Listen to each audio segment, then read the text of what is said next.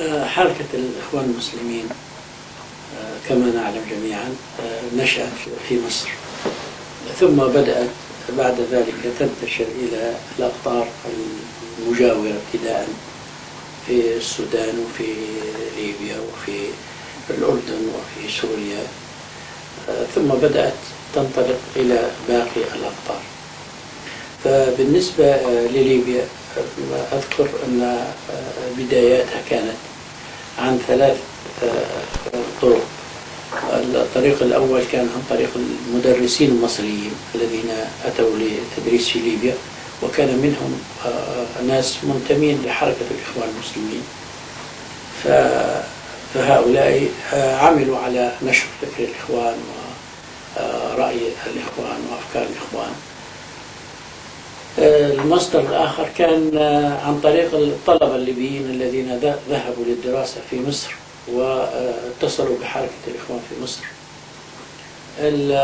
الطريق الثالث حقيقة كان هذا خاص بمدينة بنغازي بالذات وهو مجيء ثلاثة من الإخوة الذين خرجوا من مصر مهاجرين آه، أو فارين من آه، الاضطهاد ومن الظلم الذي وقع على حركة الإخوان المسلمين آه، في عهد النقراشي الذي اعتقل الإخوان الذين كانوا يقاتلون اليهود وزج بهم في السجون ثم لاحق أفراد الجماعة وبعد ذلك جاءت حكومة إبراهيم عبد الهادي وقامت بدور أشد في ملاحقة الإخوان بعد مقتل النقراشي.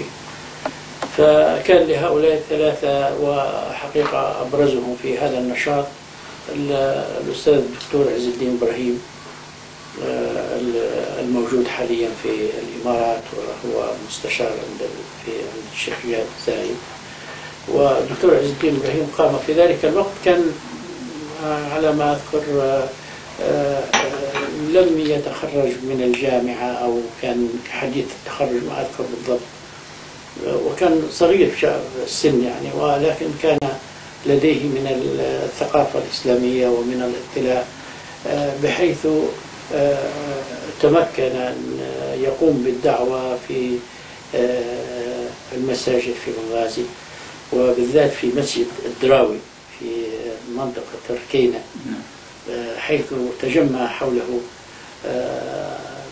معظم أو كثير من شباب بنغازي ممن أصبح بعد ذلك لهم شأن في الدولة.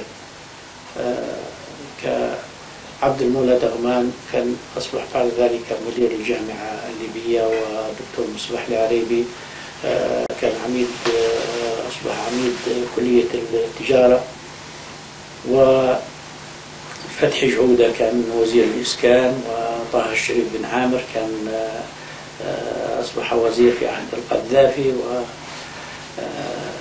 مجموعة كبيرة من هؤلاء الشباب يعني اتصلوا بالأستاذ عز الدين إبراهيم واتصلوا بحركة الإخوان. حقيقة العمل لم يكن منظم كحركة آه، إخوان يعني منظمة مرتبة إنما كانت هي آه، يعني الجانب العاطفي آه، كان هو الأكثر سيادة في هذه الاتصالات. وفي هذه النشاطات آه، وكان مدير البوليس في ذلك الوقت في إنجليزي كان يلاحق الدكتور عز الدين إبراهيم ويرسل له رسائل ويلفت نظره بأنه ما يقومش بأي نشاطات في آه، في بنغازي في ذلك الوقت. طبعا هم لما جاءوا إلى بنغازي آه، لجأوا إلى قصر المنار قصر الملك وطلبوا اللجوء وطلبوا الحماية من الملك.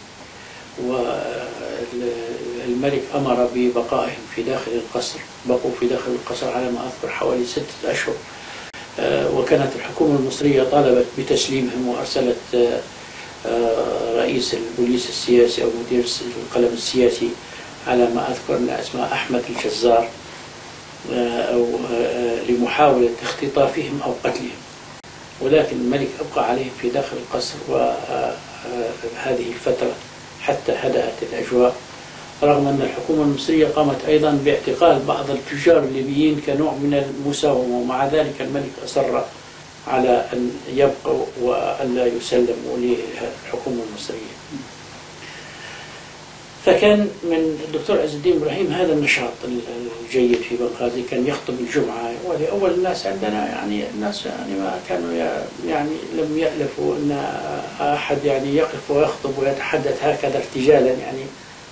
تعودوا على امام المسجد معه دفتر يقرأ منه يتحدث عن اللهم انصر سلطان المسلمين وعساكره وجنوده. مثلا نعم. يتحدث عن عهد الخلافة الخلافة ولت واندثرت ف فكان هذا النشاط المميز للدكتور عز الدين إبراهيم التف حوله الكثير من الشباب وكثير من أهل بنغازي أحبوه وأحبوا حركة الإخوان ودعوة الإخوان من خلال الدكتور عز الدين إبراهيم.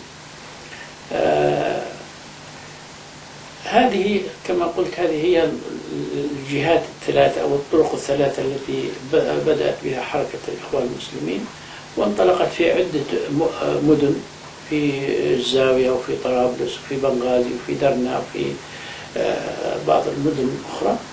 لكن لم يكن هناك يعني ترابط تنظيمي يعني بالمعنى المفهوم الآن يعني.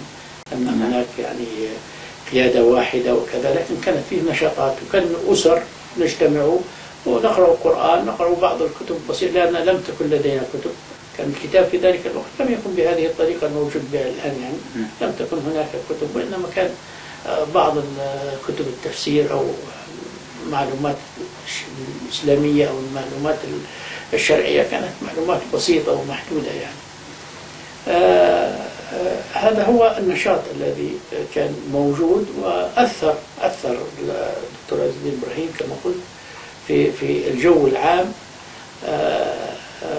لدرجة أن عواطف الناس كانت كلها مع الإخوان لدرجة أذكر أنه بعد قيام الثورة ولما بدأ الصدام بين الإخوان وبين الحكومة في مصر آه، الناس في ليبيا أو أنا أذكر في بنغازي لم يكن الناس يتقبلوا أي كلام عن الإخوان وكان مندوب القنصلية المصرية أو القنصلية المصرية في ذلك الوقت كان يقوم بتوزيع منشورات آه، تذكر أن الإخوان عملاء للإنجليز يعني ويذم الإخوان فكان أي واحد يمسك المنشور مجرد يقرأ هذا كلام يرميه عليه يلف الورقة ويرميها عليه ويقول كذابين أنتم الإخوان لا يمكن أن يقوموا بمثل هذه الأعمال.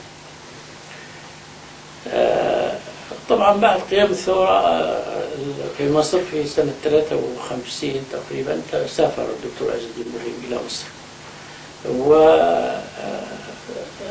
وبقي آه، الشباب اللي هم اتصلوا بهذه الحركة وكانوا يقومون بنشاطات الإخوان العادية اللي هي الأسر واللقاءات و لكن لم تكن لدينا القيادات الكبيرة في السن أو العلماء المتخصصين في الدراسات الشرعية والفاهمين للدعوة.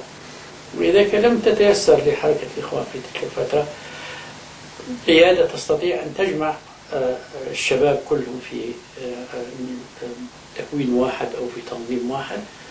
وظلت مجموعات من الشباب متفرقة في المناطق المختلفة آه، ولكن بعد فترة بدأت تنتظم الحركة خاصة بعد آه، افتتاح الجامعة الليبية وافتتاح كلية الأداب ومجيء الإخوة من طرابلس.